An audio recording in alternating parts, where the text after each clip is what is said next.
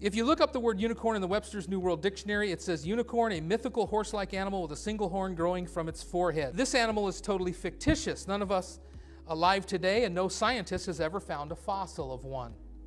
However, Unicorns are mentioned in the King James Bible nine different times, five different books, five different authors Balaam, Moses, David, Isaiah, and even God in the book of Job. God brought them up out of Egypt. He hath, as it were, the strength of an unicorn. Job 39 9, Job 39 10, Psalm 29 6. He maketh them also skip like a calf, Lebanon and Sirion like a young unicorn. Psalm 92 10.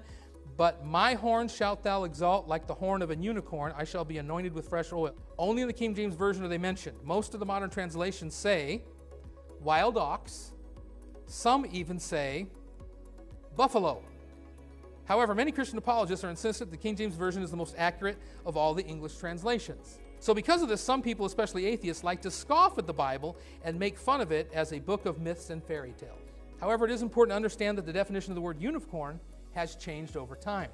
If you get an old 1828 Noah Webster's dictionary, which is the very first edition dictionary that Webster came out with about 200 years ago, and look up the word unicorn, it says unicorn, an animal with one horn, the monoceros. This name is often applied to the rhinoceros. Now, anyone who has ever seen a rhinoceros knows that a rhinoceros has two horns a large one up front and a smaller one behind. So, how could a rhinoceros be considered a unicorn? Well, if you look up the word rhinoceros in the same 1828 dictionary, it says a genus of quadrupeds of two species, one of which, the unicorn, has a single horn growing almost erect from the nose. This animal, when full grown, is said to be 12 foot in length. There is another species with two horns, the bicornis. They are natives of Asia and Africa. As a matter of fact, even today, the scientific name of the Asian one horned rhinoceros is Rhinoceros unicornis. Unicornis and bicornis are Latin words. That's interesting because if you look up the Psalm 92:10 in the Latin Bible, the Latin word that is being used here is the word unicornis. If you look up Job 39:9 in the Latin Bible, the word that is being used here is the word rhinoceros.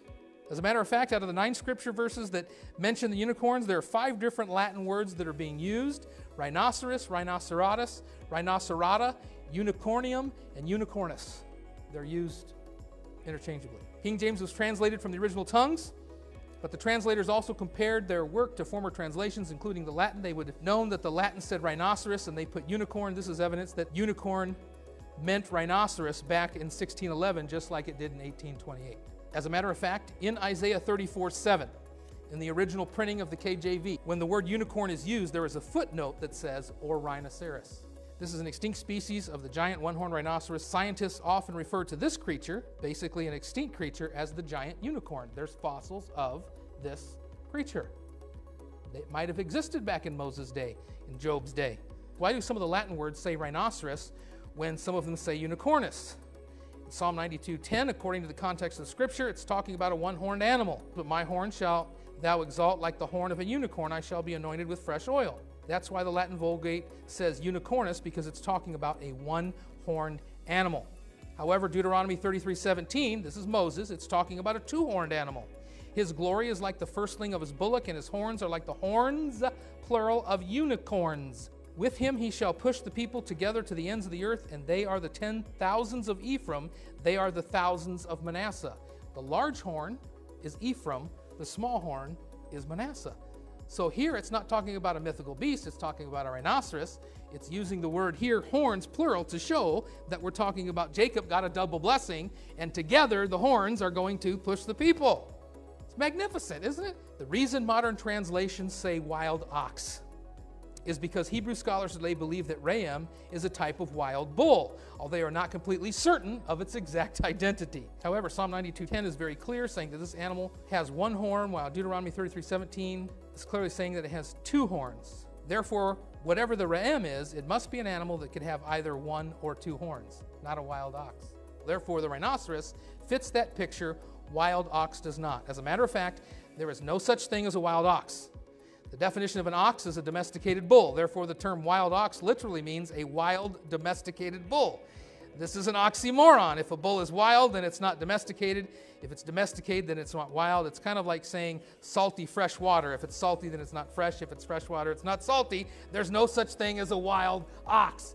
So they've taken our mythology that we've proven is not a mythology and is real, and they've put in there mythology. Ah! So everybody says, oh, the language, oh, the antiquity, oh, the unicorns. And yet their response is even more foolish.